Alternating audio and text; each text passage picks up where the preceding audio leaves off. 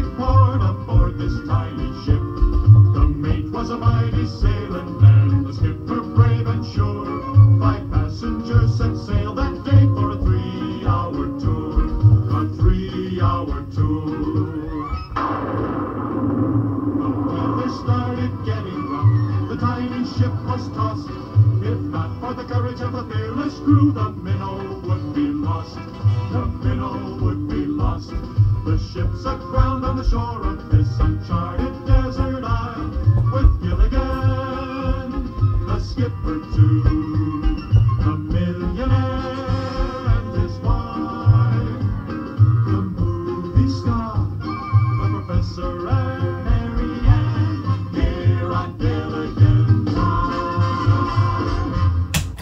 If not for the courage of the fearless crew, the minnow would be lost. The minnow would